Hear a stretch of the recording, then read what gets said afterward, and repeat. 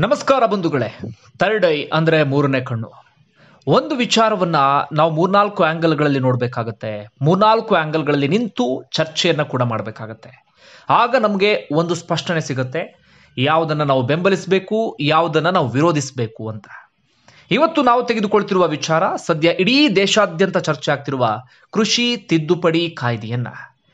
ಈ ಕೃಷಿ ತಿದ್ದುಪಡಿ ಕಾಯ್ದೆಗೆ ಸಂಬಂಧಪಟ್ಟ ಹಾಗೆ ಈಗಾಗಲೇ ಸಾಕಷ್ಟು ಪ್ರತಿಭಟನೆಗಳು ನಡೀತಾ ಇದೆ. ಭಾರತ್ ಬಂದ್ಗೂ ಕೂಡ ಕರೆ ನೀಡಲಾಗಿತ್ತು. ರೈತರು ಈಗಾಗಲೇ ಪಟ್ಟು ಹಿಡಿದು ಕುಳಿತುಕೊಂಡಿದ್ದಾರೆ. ನೀವು ಈ ಕಾಯ್ದೆಯನ್ನು ವಾಪಸ್ ತೆಗೆದುಕೊಳ್ಳಲೇಬೇಕು ಅಂತ. ಹಾಗಾದ್ರೆ ಏನಿದು ಕೃಷಿ ತಿದ್ದುಪಡಿ ಕಾಯ್ದೆ? ಅದನ್ನ ನಾವು ಮೊದಲಿಗೆ ಗಮನಿಸ್ತಾ ಹೋಗೋಣ. ಈ ಕಾಯ್ದೆಯಡಿ ಒಟ್ಟು ಮೂರು ಕೃಷಿ ಕಾನೂನುಗಳು ಬರುತ್ತೆ. ಒಂದು ಕೃಷಿ ಉತ್ಪನ್ನ ಮಾರಾಟ ಮತ್ತು ವಾಣಿಜ್ಯ. ಅಂದ್ರೆ ಎಪಿಎಂಸಿ ತಿದ್ದುಪಡಿ ಕಾಯ್ದೆಗೆ ಸಂಬಂಧಪಟ್ಟಂತ ವಿಚಾರ.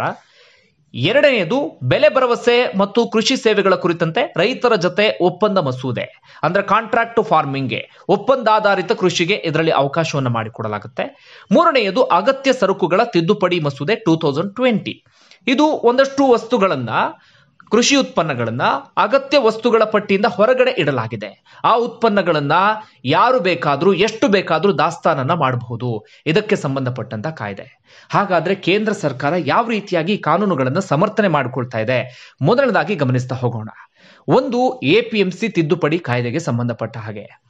ಎಪಿಎಂಸಿಯಲ್ಲಿ ಸಾಕಷ್ಟು ಸಮಸ್ಯೆಗಳಿದೆ. ನಿಮ್ಮೆಲ್ಲರಿಗೂ ಕೂಡ ಬಹಳ ಚೆನ್ನಾಗಿ ಗೊತ್ತಿರುವಂತ ವಿಚಾರ.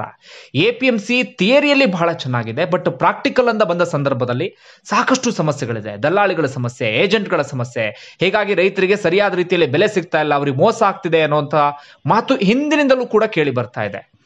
ಎಷ್ಟು ದಿನ ಏನಾಗ್ತಿತ್ತು ರೈತರಿಗೆ? ಕೇವಲ ಎ ಪಿ ಎಂ ಸಿ ಒಳಗಡೆ ಮಾತ್ರ ಅವರಿಗೆ ಮಾರಾಟ ಮಾಡೋದಕ್ಕೆ ಅವಕಾಶ ಇತ್ತು? ಯಾರು ಪರವಾನಗಿಯನ್ನು ಪಡೆದುಕೊಂಡಿದ್ದಾರೆ ಎ ಪಿ ಎಂ ಸಿ ಒಳಗಡೆ ಇದ್ದಾರೆ, ಅವ್ರಿಗೆ ಮಾತ್ರ ಖರೀದಿ ಮಾಡೋದಕ್ಕೆ ಅವಕಾಶ ಇತ್ತು. ಆದರೆ ಇನ್ನು ಮುಂದೆ ಏನಾಗುತ್ತೆ? ರೈತರು ಎಲ್ಲಿ ಬೇಕಾದರೂ ವ್ಯಾಪಾರವನ್ನ ಮಾಡಬಹುದಾಗಿದೆ? ತಮ್ಮ ಕೃಷಿ ಉತ್ಪನ್ನಗಳನ್ನ. ರೈತರ ಉತ್ಪನ್ನಗಳನ್ನ ಯಾರು ಬೇಕಾದರೂ ಖರೀದಿ ಮಾಡಬಹುದಾಗಿದೆ. ಅವರ ಹೊಲದಲ್ಲಿ ಅವ್ರು ಬೇಕಾದರೂ ವ್ಯಾಪಾರ ವಹಿವಾಟನ್ನು ನಡೆಸಬಹುದಾಗಿದೆ. ಹಾಗೆ ಒಂದು ರಾಜ್ಯದಿಂದ ಇನ್ನೊಂದು ರಾಜ್ಯಕ್ಕೆ ಮಾರಾಟ ಮಾಡುವಂತ ಸಂದರ್ಭದಲ್ಲಿ ಒಂದಷ್ಟು ರಿಸ್ಟ್ರಿಕ್ಷನ್ ಇತ್ತಲ್ಲ, ಆ ರಿಸ್ಟ್ರಿಕ್ಷನ್ ಕಂಪ್ಲೀಟ್ ಆಗಿ ಹೋಗುತ್ತೆ. ಕಂಪ್ಲೀಟ್ ಆಗಿ ಒಂದು ರೀತಿಯಲ್ಲಿ ಮುಕ್ತ ಮಾರುಕಟ್ಟೆಯ ಅವಕಾಶ ಅಂದ್ರೂ ಕೂಡ ತಪ್ಪಾಗ್ಲಿಕ್ಕಿಲ್ಲ.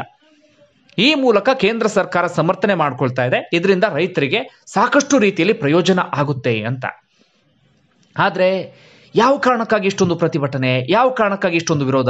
ನಾವು ಗಮನಿಸ್ತಾ ಹೋಗೋಣ ಇದೀಗ ಒಂದೊಂದಾಗಿ. ಹೌದು, ಎ ಪಿ ಎಂ ಸಿಯಲ್ಲಿ ಸಾಕಷ್ಟು ಸಮಸ್ಯೆ ಇದೆ.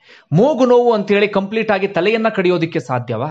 ಎ ಪಿ ಎಂ ಸಿಲಿ ಸಮಸ್ಯೆ ಇದೆ ಅಂದ ಸಂದರ್ಭದಲ್ಲಿ ಆ ದಲ್ಲಾಳಿಗಳ ಸಮಸ್ಯೆ, ಏಜೆಂಟ್ಗಳ ಸಮಸ್ಯೆ, ಇದೆಲ್ಲವನ್ನು ಕೂಡ ಹೋಗಲಾಡಿಸುವಂತ ಕೆಲಸವನ್ನ ಮಾಡಬೇಕಿತ್ತು. ಆದರೆ ಎ ಪಿ ಎಂ ಸಿಗೆ ಯಾಕೆ ಸ್ಲೋ ಪಾಯ್ಸನ್ ಕೊಡ್ತಾ ಇದ್ದೀರಾ ಎನ್ನುವಂತ ವಾದ ಅಥವಾ ಮಾತು ಕೇಳಿ ಬರ್ತಾ ಇದೆ.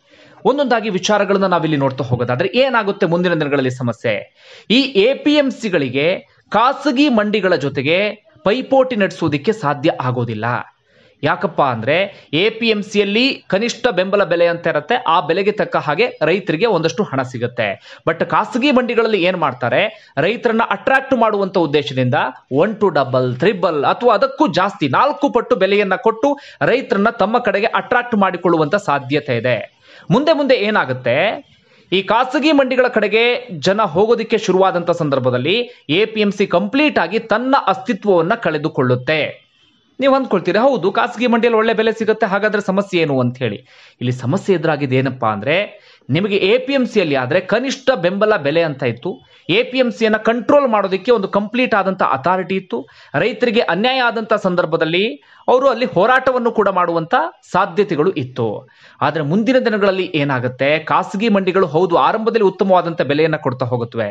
ಆದರೆ ಮುಂದೆ ಮುಂದೆ ಮುಂದೆ ನಿಮಗೆ A P M C complete ಆಗಿ ಕ್ಲೋಸ್ ಆದಂಥ ಸಂದರ್ಭದಲ್ಲಿ, ಅಂದ್ರೆ ಅವ್ರ ಎದುರುಗಡೆ ಪೈಪೋಟಿಯನ್ನ ಮಾಡೋದಕ್ಕೆ ಆಗದೆ A P M C close ಆದಂತ ಸಂದರ್ಭದಲ್ಲಿ ಖಾಸಗಿ ಮಂಡಿಗಳು ಎಷ್ಟು ಬೆಲೆಯನ್ನ ಕೊಡುತ್ತೋ ಅಷ್ಟೇ ಬೆಲೆಯನ್ನ ನೀವು ತೆಗೆದುಕೊಳ್ಬೇಕಾಗತ್ತೆ. ಯಾಕಂದ್ರೆ ಅಲ್ಲಿ ಕನಿಷ್ಠ ಬೆಂಬಲ ಬೆಲೆ ಅನ್ನೋದು ಇಲ್ಲವೇ ಇಲ್ಲ.